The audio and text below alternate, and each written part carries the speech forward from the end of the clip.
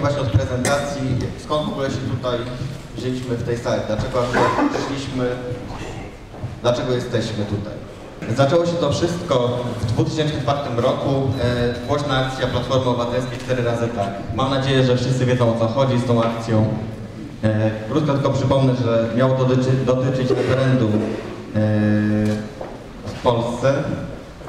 Miały być cztery pytania. Czy jesteś za wprowadzeniem okręgów jednomandatowych, zniesieniem Senatu, zmniejszeniem liczby posłów do 230, zniesieniem immunitetu parlamentarnego? W ciągu kilku miesięcy zebrano już ponad 750 tysięcy podpisów za tym referendum. W 2007 roku Platforma doszła do władzy i wiadomo, co się stało z tymi podpisami. Te podpisy po prostu zmielono. Dzięki temu powstała akcja Zmieleni.pl. Początkowo ta akcja y, nie cieszyła się zbyt dużą popularnością. Y, nie ukrywam, że jedynie co zrobiłem, to polekowałem y, tą stronę facebookową i to jest wszystko, cała moja aktywność, którą ja zrobiłem w tamtym czasie, co, co duża część obywateli, może nie tak duża, ale jednak część obywateli y, stwierdziła, że, że trzeba działać. Y, Czy potrafisz wymienić posłów reprezentujących Twój okręg wyborczy? Czyli okręg wyborczy, w Polsce mamy 41 okręgów wyborczych, między innymi numer 26 y, y, z siedzibą w Gdyni. Czy ktoś wymieniłby wszystkich? Czy, czy, no dlaczego? No nas reprezentują, nasze wyborcze. Wymieńmy chociaż jednego. Na przykład Jarosław Selin, który mieszka w Warszawie. O! Który mieszka w Warszawie. Właśnie, właśnie, właśnie. I tacy ludzie, ludzie nas reprezentują, reprezentują Gdynię, Rumię, Wejherowo. Co możemy zrobić, aby pomóc e, Pawłowi Kukizowi w rozbetonowaniu sceny politycznej w Polsce? I zacznę od pytania, czy Państwu zależy na tym, żeby Paweł Kukiz rozbetonował wraz ze swoim ruchem scenę polityczną w Polsce? Czy zależy Wam na tym? Nie będzie chyba zaskoczeniem, e, że mnie również na tym zależy. I chciałbym Państwu powiedzieć dlaczego i co zamierzam zrobić, aby pomóc Pawłowi w realizacji tego zadania. Mam 45 lat, e, jestem ekonomistą, ukończyłem Uniwersytet Gdański e, na specjalności finanse i bankowość. Byłem prymusem, e, ukończyłem uniwersytet z pierwszą lokatą. E, Mniej więcej 20 lat temu moi koledzy, którzy interesowali się polityką, ja również ją interesowałem, pytali się, a dlaczego ja nie będę, dlaczego aktywnie nie działałem politycznie, dlaczego stałem się bierny. Ja powiedziałem wówczas, że muszę mieć dzieci, muszę zarobić własne pieniądze i wtedy zajmę się polityką. W tym czasie dokonywała się transformacja ustrojowa w Polsce. Marzyliśmy o tym, żeby żyć tak jak na Zachodzie. Zwłaszcza marzyliśmy o tym, aby nasze dochody osiągnęły poziom zachodni. Działo się bardzo powoli. W tej chwili wynagrodzenia w Polsce stanowią mniej więcej 50% wynagrodzeń w Niemczech. E, Co gorsza, osoby, które dokonywały transformacji, zestarzały się.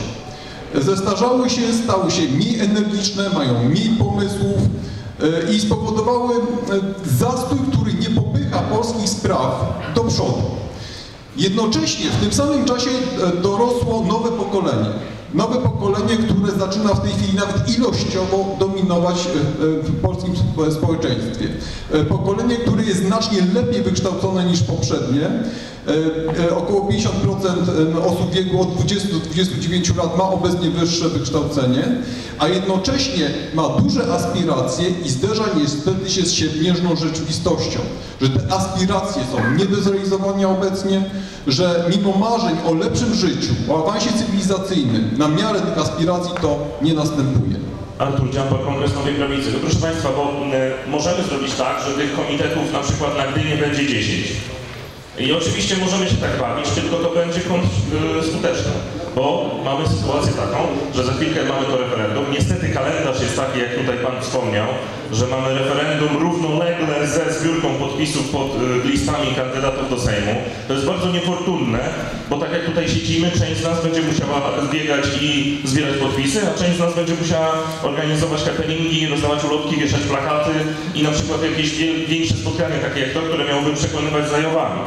To jest bardzo duży problem. Dlatego y, no, to, co proponuję, jest rozwiązaniem bardzo prostym, żebyśmy wszyscy byli jedną grupą, a nie dziesięcioma różnymi grupami, które mają swoje cele. W ten sposób będziemy mogli sobie powiedzieć, że my idziemy w tę stronę, a tutaj idziemy w tamtą stronę i mamy to i to do zrobienia. Na terenie na przykład Gdyni, no bo w Gdyni się akurat w tym momencie widzimy, tak? To samo proponuję na terenie wszystkich innych powiatów, bo akurat na powiaty jest to najłatwiej podzielić. Musimy ustalić co dalej, żeby to wszystko nie wyglądało tak, że my będziemy się od czasu do czasu spotykali, siedzieli, wygłaszali jakieś mowy pójdziemy do domu i nic. Bardzo ważne jest to, żebyśmy w jakiś sposób zaplanowali naszą, naszą pracę. My nie chcemy nic odgórnie odrzucać, broń Panie Boże. Chcemy, żeby właśnie ludzie organizowali się w tych małych zespołach, czy powiatowych, czy w miejskich, czy, czy tutaj w dzielnicowych, w takich większych miastach jak Gdańsk Gdynia. Mamy taką propozycję, jak się organizować w tych właśnie mniejszych terenach. Na sam koniec spotkania Państwu to rozdamy, ale pozwolicie Państwo, że jeszcze to w, w krótki, szybki, zwięzły sposób omówię. Otóż dla, na, dla tych naszych grup, dla naszych e, zespołów powiatowych najistotniejszą rzeczą w tym momencie jest referendum 6 września. Musimy działać, musimy roznosić ulotki, mówić ludziom, co to są jowy.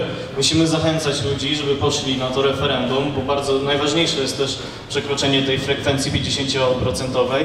I żeby to właśnie uzyskać, mamy taki a, plan, który zadziałał, a, kiedy prowadziliśmy tutaj majówkę, pierwszy, drugi, trzeci maja.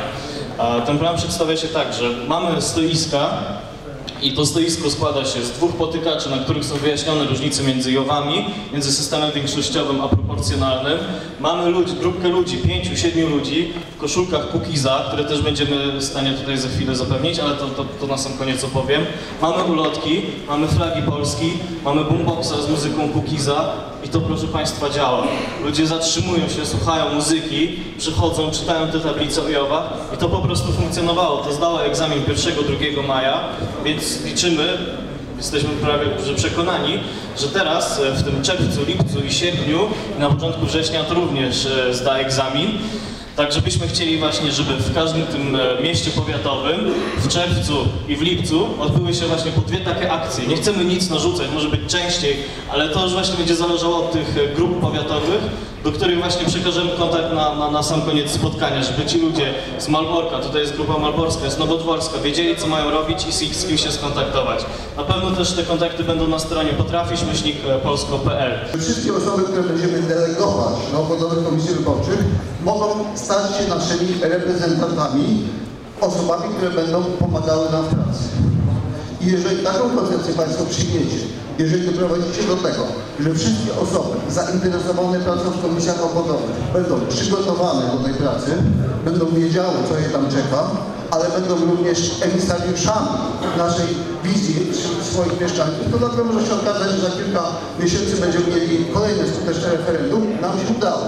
My w Elblągu potrafiliśmy doprowadzić do skutecznego referendum właśnie dlatego, że przyjęliśmy taką metodę pracy.